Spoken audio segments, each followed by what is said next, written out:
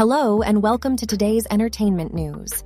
In today's headlines, South African actress Jessica Nkosi has announced that she is expecting her second child with her ex husband, actor TK Dlamini.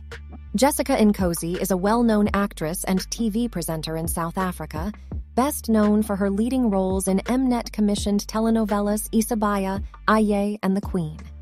She was born on January 20th, 1990 in Empangeni, KwaZulu Natal, South Africa. Recently, she took to Instagram to share the news of her pregnancy, posting pictures that showed off her lightly protruding belly. She wrote, God has been so, so good. We are growing. This announcement got Mzansi talking, and congratulatory messages have flooded her timeline.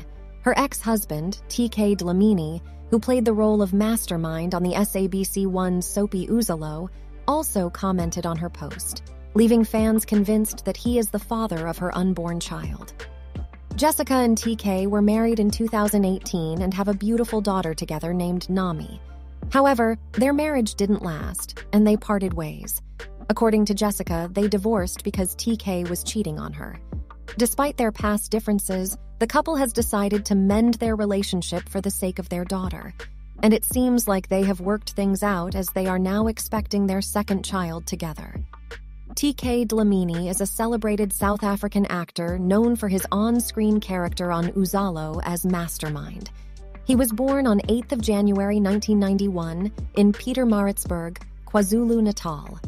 In 2015, he won an acting gig on the hit soapy Uzalo, where he played Mastermind, a car hijacking expert who would do anything to make a living. He later exited the show as he pursued other opportunities in the entertainment industry. As of late, he is playing Bafana in Deep City, and many love to hate the character he is portraying.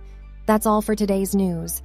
Congratulations to Jessica and TK on their growing family, and we wish them all the best. Don't forget to share your thoughts in the comments below. Thanks for watching.